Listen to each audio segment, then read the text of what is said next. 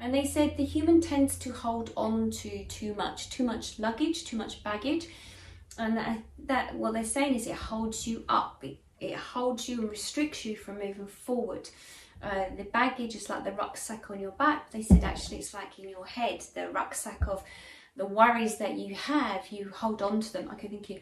And you do that because you're too worried because you can't see the future, you can't see where you're moving into. So it's safer to go with the old baggage, the old luggage, the old rucksack to uh, sort of go back to, well, this is what happened before, this is likely going to happen again. Thank you. And they just said, well, now it's more about the reset button. It's about pressing that reset button, you know, like on your phone you do, or your computer, or I don't know, Wi-Fi device.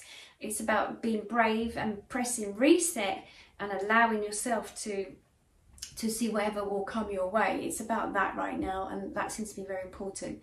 So they're sort of saying by take this moment to look at if you're being presented with a reset button or pausing and taking a moment just to be still so that you can just to, to address what is going on for you by being in the present and then taking a moment to pause to press the reset button to then allow you to move forward. Okay, they just said.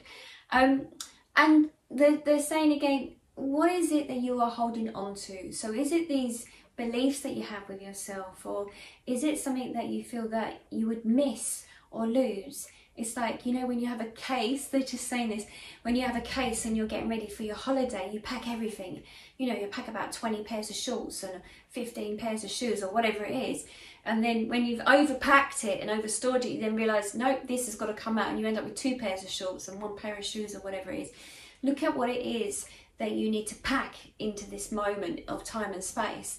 Don't overpack it. Don't have to fill it so much with too much because then the luggage is there and you can't uh, move forward. It's too heavy to take with you. And a lot of things you don't need to take with you.